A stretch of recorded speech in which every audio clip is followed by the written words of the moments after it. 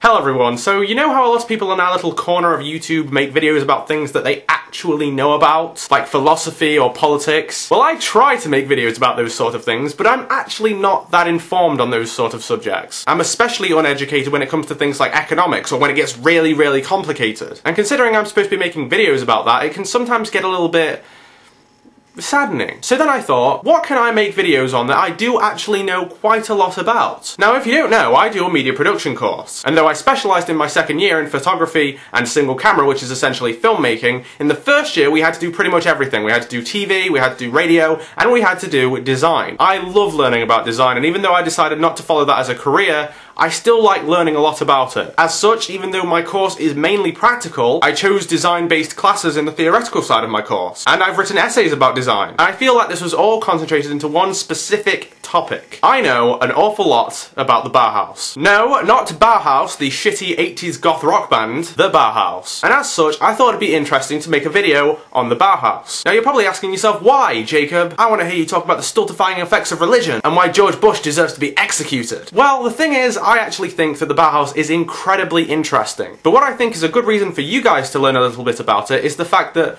most of us look at and experience things that were heavily influenced by the Bauhaus every single day, and the vast majority of people know very little about it. So take off your shirt, get on your knees, and get ready to suck my knowledge cock. A vulgar metaphor, I grant you, but I feel it is appropriate. So, ready to learn? Let's go. First of all, what is the Bauhaus? The Bauhaus was a German art and design school that existed from 1919 until 1933 when it was closed down by the Nazis. Great. Is that it? No, that's not it, you fucking moron! There's so much more to the Bauhaus than that. So let's just start with the basics. How did it all begin? The Bauhaus was founded by a guy called Walter Gropius, who in 1919 broke away from the state-owned academies and wanted to start his own school. He wanted to start a school that would reconcile the traditional divisions between art and design and industry, and to prepare the art and design world for the era of mass production and the machine. So Walter Gropius got a crapload of people together in Weimar and started the Bauhaus. Now initially the Bauhaus was actually very expressionistic. Expressionism, if you don't know, was an art movement that was based around creating a subjective view of reality that was focused on on feelings and emotions, expressing the feeling of being alive rather than just representing the world as it is. Now even though you can get expressionist art, expressionism runs through the entire range of media, so much so that you can even get expressionist architecture. I know, crazy right? Now because of the way that the expressionist era of the Bauhaus changed later on, I often associate the early expressionist style of the Bauhaus with a man called Johannes Itten. Johannes Itten was an artist and colour theorist who taught the preliminary course, or the Vorkurs, at the early Bauhaus. Johannes Itten was fucking weird. He was a follower of the Mazdaznan religious movement, which had weird beliefs. He shaved his head, he wore red, burgundy robes. I don't think he ate meat. He encouraged fasting, the use of laxatives to his students, and some sources even say, although I'm not entirely sure about this, so do not quote me here, that Johannes Itten even encouraged colonic irrigation. Alright students, let's carry on from our last lesson about colour theory, but first, let's flush all the shit out your colon. But even though it sounds crazy, a lot of his students lap this up. Oh, bad choice of words when talking about colonic irrigation. Yeah, but a lot of his students actually went along with it. A lot of them became Mazdaznans themselves. And apparently there was some degree of tension between the students who followed Johann Itten and were Mazdaznans and those who weren't. And of course during this era the art and design of the Bauhaus was very expressionistic, as you can see here. And towards the end of this expressionist era the Bauhaus was having some let's say, political problems. They weren't in very good standing with the local government for whatever reason, and so they decided to move from Weimar to Dessau. And I personally associate that geographical transition with the transition in the Bauhaus from the Expressionist style to more modernist styles. This came when Johann Itten came back from a trip to a place called Heidelberg, I believe, and apparently he didn't quite feel at home at the Bauhaus anymore. Apparently Walter Gropius and others wanted to move towards a more modernistic style anyway, so Johann Itten resigned. And he was replaced by one of my all-time favourite designers, a Hungarian Jew by the name of Laszlo Moholy-Nagy. Laszlo Moholy-Nagy was vastly influenced by constructivism and was fiercely modernistic, completely different to Johann Itten. And I always associate him joining the Bauhaus Bauhaus with the move from Expressionism to Modernism. And this is where the general perception of the Bauhaus as being fiercely modernistic began, around 1923 to 1925. Now I've been talking a lot about modernism at this point, but what actually is modernism? Modernism as a design style has various aspects to it. They favour uncluttered, clean designs, pure, simple geometric forms, uncluttered by what they saw as needless ornamentation, and a preference for putting emphasis on notions of space rather than mass. Essentially, this modernist period of the Bauhaus was influenced by a lot of different modernist movements. The two that always stick out are Russian constructivism and Dutch De Stijl. Let's start with Russian constructivism. Russian constructivism was an art and design movement that began in Russia, hence the name, that fiercely fought against the idea of art for art's sake, making art because it looks nice. They believed art had a social duty, and that's why they made it. Russian constructivism was often very geometrical, with sharp, clean, straight lines, and like I said, influenced Laszlo Quite a lot. Now, I find Dutch De Stijl much more interesting. Dutch De Stijl is all about forcing extreme simplicity in design. They eschewed the use of curved diagonal lines, they emphasized the use of primary colours, red, blue and yellow, and the primary values of black, grey and white. They wanted to make everything as simple as possible, and if you have an arty inclination, you recognise that a lot of their designs were heavily influenced by the work of Piet Mondrian and Cubism in general. The movement was started by a guy called Theo van Doesburg, although some other contributors include people like JJP Oud, Bart van der Leck, and Gerrit Rietveld. Gerrit Rietveld designed this very uncomfortable looking chair, and this interesting house known as the Rietveld Schroeder House, which is the only building that was made exactly to De Stijl specifications, which now sits awkwardly next to a motorway. So yeah, the De Stijl movement was all about forcing pure simplistic abstraction, reducing everything down to its simplest elements. And these two sources heavily influenced the Bauhaus. And it was during this time that we see a lot of the most famous Bauhaus designs that ranged from really simple things like coffee pots and teapots and lamps and lighting fixtures all the way up to actual buildings. Some of my favourite examples include this lamp by Wilhelm Wagenfeld, who was described by Alice Rawsthorn, a journalist and design critic, as having pioneered the design of the modern kitchen. Later on, Wagenfeld actually described that lamp as something along the lines of, I'm paraphrasing here, something along the lines of a bloodless experiment in steel or glass or something like that. So by the end of it, he didn't actually like it. But I really like it, and you can still buy it in some places, although it is hideously fucking expensive. Other designers that I really like include people like Marianne Brandt. Marianne Brandt was the first woman in the metal workshop, and apparently she suffered a, a small degree of sexism while she was there, but she overcame that when she proved herself as being fucking awesome at designing things. And actually in this book, Bauhaus and Bauhaus People, which I will probably reference at other times, in this video. Brandt is quoted as saying in her letter to the younger generation, In 1924, when on the advice of Moholy-Nagy I transferred from the Vorkurs to the metal workshop, they had just begun to produce objects capable of being mass-produced, though still fully handicrafted. The task was to shape these things in such a way that even if they were to be produced in numbers, making the work lighter, they would satisfy all aesthetic and practical criteria and still be far less expensive than any singly produced item. That quote for me sums up so much of the Bauhaus. I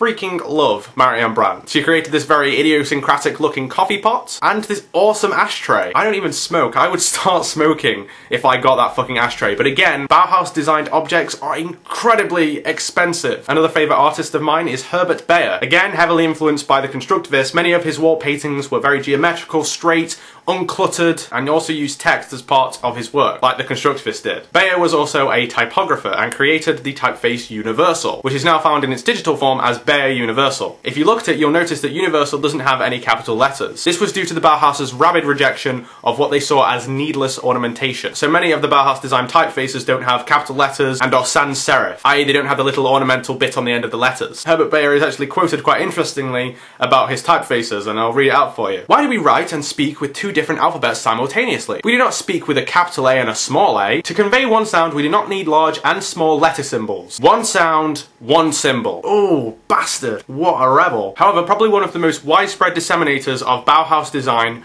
was Ludwig Mies van der Rohe. His birth name was Ludwig Mies. He added the van der Rohe later on because he thought it would get him work. And he was an architect who has created many incredibly famous buildings around the world, in the US, in Canada, in Europe, so many places. One of his most influential works was Farnsworth House. A woman called Dr. Edith Farnsworth asked him to design for her a weekend retreat. What he designed was a weird sort of glass box thing, but was incredibly influential for the time. Some of its most striking features include the glass facade. Can you imagine living in a big glass box? To be fair, it did have curtains for when you wanted a little bit of privacy, but yeah, there was no massive use of exterior walls, it was just plate glass windows. He also didn't have interior walls either, he had interior features like cabinets and, uh, and bookcases and beds that would partition the house in, in ways that walls usually would. Now, Dr. Farnsworth didn't like this house. Possibly understandably, but it was incredibly influential and was seen as one of his greatest achievements. My favourite example of Ludwig Mies van der Rohe's work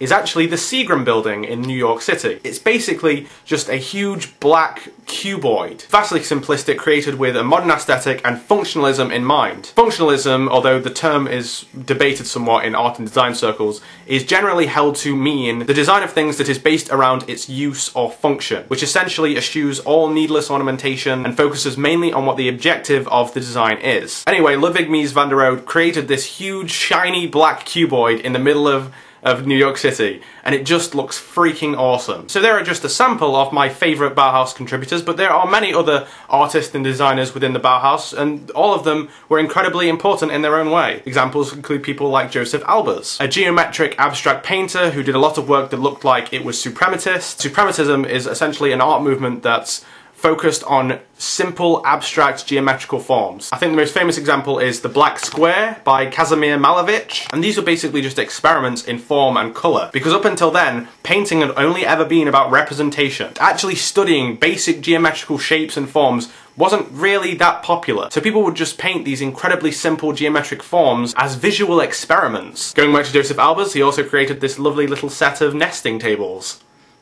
Okay. Other people like Marcel Breuer, who created various very famous cantilever chair designs, who was actually involved in a legal battle with a guy called Mart Stam over who actually invented the first cantilever chair. Mart Stam won. Whatever. We also have the famous Wassily Kandinsky, who was actually ousted by the Russian constructivists for his mysticism. Now, Wassily Kandinsky's work actually varied a lot throughout his entire career, but you can see a lot of it is very straight, very geometrical, very clean. Another example is the very multi-talented Oskar Schlemmer, who was a painter, a designer, a choreographer. He was incredibly multi-talented. For instance, he designed the second Bauhaus logo, but also choreographed the Triadic Ballet, which is possibly the weirdest piece of performance art you will ever fucking see.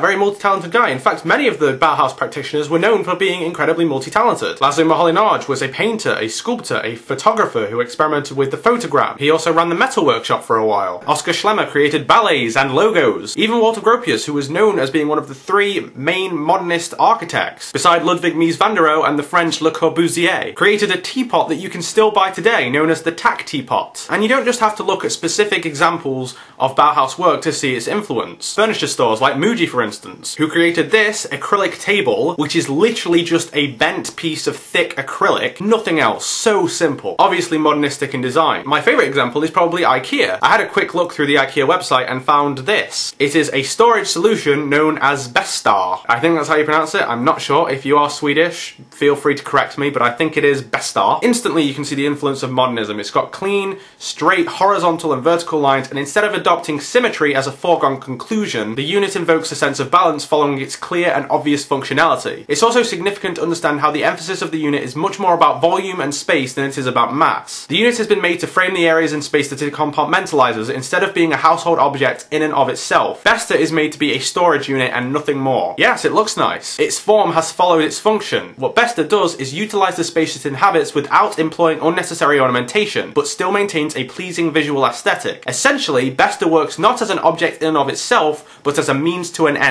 It frames space. This object is not about mass, it's about compartmentalizing space and volume. And interestingly enough, Besta actually bears a striking resemblance to the work of various Bauhaus furnishing designers, such as a cabinet designed by Alma Buscher. Very similar designs. And as you're all probably aware, IKEA is all about mass production. IKEA refers to its flat packing as democratic design. This fits in with the Bauhaus's emphasis on designing products with mass production in mind, which is a concept that IKEA has clearly embraced. But unfortunately, all good things must come to an end. And considering it was a design school that existed in Germany in the 1930s, being modernist wasn't actually that good an idea if you wanted to exist. Because the Nazis hated modernism. They saw it as un-German, international and heavily influenced by Jews, which it might have been because a lot of the Bauhaus members were Jewish. And it was also described as a hotbed of Bolshevism, which may or may not have been the case in some small parts. One of the main guys in the later years of the Bauhaus was Hannes Meyer, who was an ardent socialist who encouraged the students to start socialist parties themselves. But then again, Walter Gropius had always said that the Bauhaus was apolitical. But either way, the Nazis did not like the Bauhaus. And in late 1932, they had to leave Dessau due to political oppression from the Nazis, and they spent about six months in a warehouse in Berlin when they were finally closed down by the Nazis in 1933. Unwittingly, however, the Nazis probably made the modernist design, which they hated so much, far more ubiquitous. Because they hated the Bauhaus so much, they pretty much forced a lot of the members of the Bauhaus to leave Germany. Some of the Jewish people went to British-controlled Palestine, Walter Gropius went to England for a while before moving to America, other members went around Europe, and a lot of Bauhaus contributors like Walter Gropius, as I've just said, um, Ludwig Mies van der Rohe and Laszlo Moholy-Nagy moved to America. This created a massive international spread of Bauhaus practitioners all over the world. Now Laszlo Moholy-Nagy tried to continue the Bauhaus in Chicago under the name New Bauhaus. Due to money troubles that was closed down pretty quickly after about a year, but after getting some financial help it was reinvigorated as the Institute of Design, which in 1949 became part of the Illinois Institute for Technology, which still exists today. So we've seen what the Bauhaus has produced. We've seen how it spread and developed around the world. But there is a mistake that a lot of people make in thinking that there is a Bauhaus design, and people confuse modernist design in general with Bauhaus design. This isn't necessarily the case. A guy called Walter Dexel, who I think was an artist and art critic around at the time of the Bauhaus, said this in an essay called The Bauhaus Style, a Myth. In his last paragraph he says this, One can no longer simply cover a broad range of phenomena that grew from many roots with the catchword Bauhaus style. That phrase fosters a myth. It is an inadmissible oversimplification and unfairly conceals the many significant forces that worked to create the style of the 20s. That was from Bauhaus and Bauhaus people again. And he was right. The Bauhaus did not invent modernism, nor did it invent its unconventional teaching structure. What was really the case was summed up pretty well by Gillian Naylor in her book Bauhaus Reassessed, very close to the very start of her introduction to this book. Other schools of art, design and architecture in Germany had experimented with preliminary courses and an interdisciplinary approach, and Gropius's preoccupation with typeforms and standardization had a long prehistory in philosophies of manufacture. The school's attempts to establish a methodology for design through what Kandinsky described as the new science of art had their counterparts in Russia and Holland. She continues though. What is unique about the Bauhaus, however, is the fact that its ideologies epitomize changing concepts concerning the nature and purpose of design in the early 20th century. The school inherited, reinterpreted, and rejected the craft ideals of the 19th century. It attempted to discover laws in art that could be related to design and architecture, and its fundamental aim was to establish a fundamental language of form that would represent the elimination of social as well as national barriers. So the Bauhaus did not create modernism. The modernist style style came from various sources, like I mentioned, from Russian constructivism, from De Stijl. Some of its principles even came from the arts and crafts movements, from people like William Morris. You could even argue that modernism came about simply as a reaction to the stylistic excesses of earlier design movements like Art Nouveau. What the Bauhaus did do is bring all of this together into one place at one time. So the fact that it took from so many different sources, and due to the fact that it was closed down by the Nazis, meaning a lot of the contributors had to flee, this all contributed to a somewhat bizarre effect of a comparatively small German design school spreading the principles and ideas of modernism internationally as part of the vast modernist design movement of the 20th century. Put simply, the Bauhaus School has quite literally changed the environment that people all over the world are seeing and experiencing every single day. Every time you go into a city and you see a huge skyscraper with a big glass facade, that's modernism and that's the Bauhaus. Every time you go into a modern kitchen where all the objects, from the tables to the utensils to the lighting fixtures, are all designed with functionalism and simplicity in mind, that is modernism and that is the Bauhaus. So I guess what I'm trying to say is, the Bauhaus is everywhere. You've just got to look in the right places. Now to sum all this up, I have to challenge myself and say that although I really, really love the Bauhaus, I don't agree with its principles 100%. I like looking at and designing creating things just because they look nice. And one of my favourite modernist design movements is Art Deco. And Art Deco, unlike a lot of modernist art movements, was pretty much entirely devoid of philosophy or motive and was purely decorative. And I freaking love Art Deco. Having said that, I still absolutely adore Bauhaus philosophy and Bauhaus design. And I hope you do too. I hope you've learned a lot. I hope you enjoyed this video. Thanks for watching. See you later.